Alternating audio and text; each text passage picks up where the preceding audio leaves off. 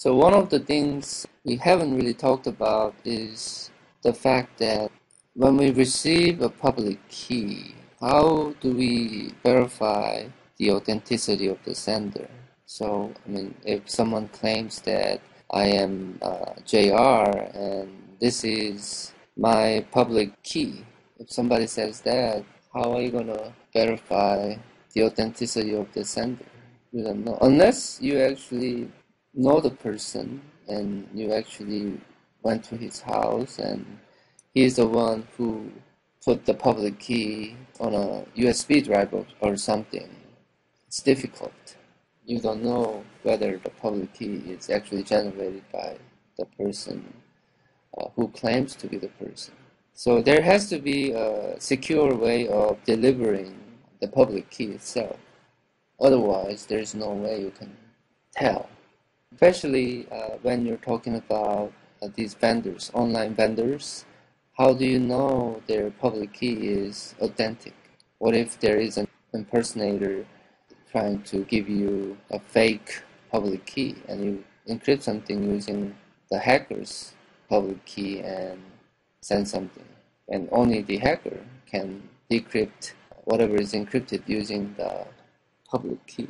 So, one idea here is that public key is something always, I mean, it's just a name, basically. Public key, private key, it's just a name. So uh, public key is a name uh, used to refer to a key uh, that's being distributed.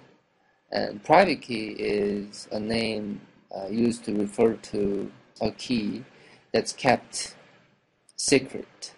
So only one person actually has access to the key, ideally. That's the idea.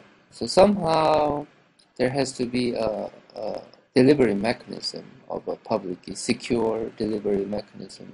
And if there is a third party who can actually prove the fact that the uh, public key is actually owned by a particular person.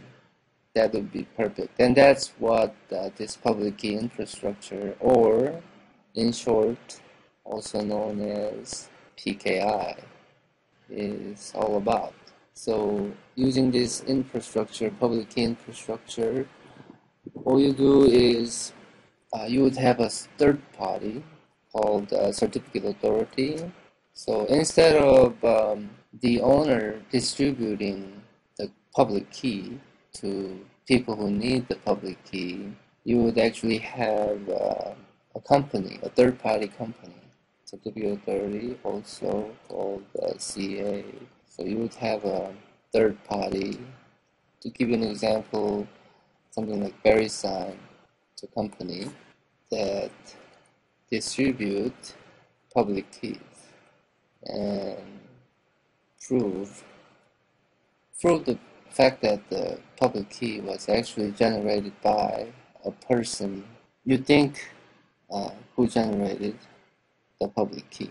So that distribute public keys and verifies the authenticity of the party who generated the public key.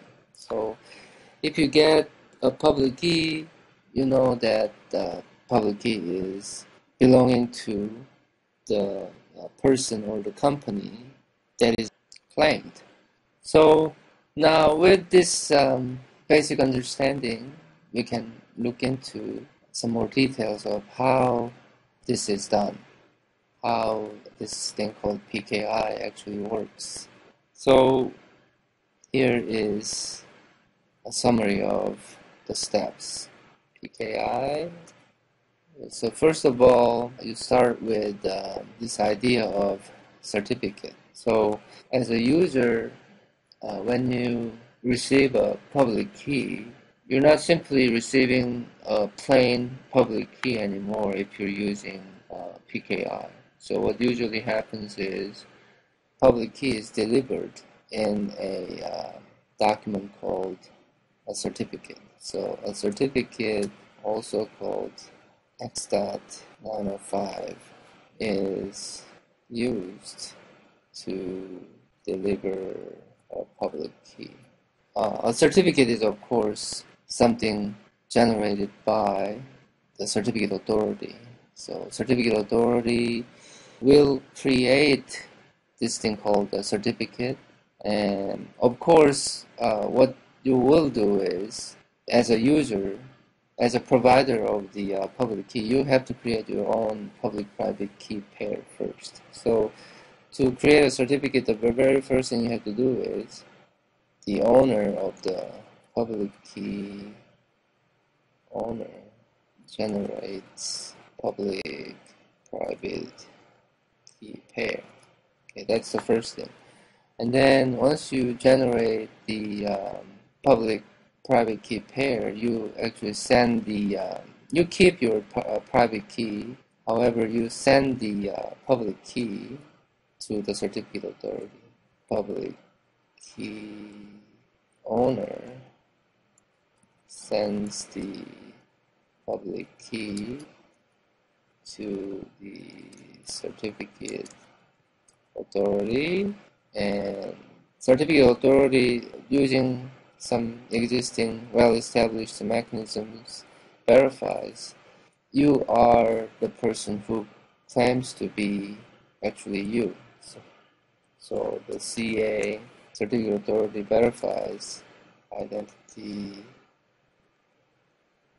of the public key owner. So this is the uh, initial step. This has to be done first.